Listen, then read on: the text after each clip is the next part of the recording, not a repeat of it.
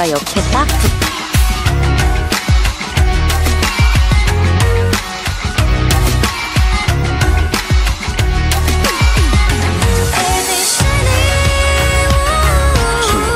우리 같이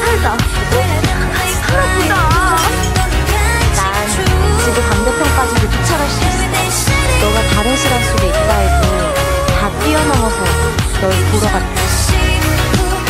내가 옆에 딱 붙어서 지켜줄게.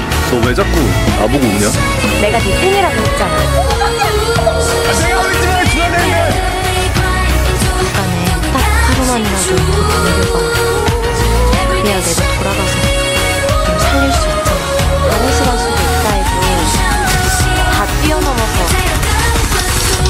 널 보러 갈 거야. 난 2020. 날이 너무 좋은데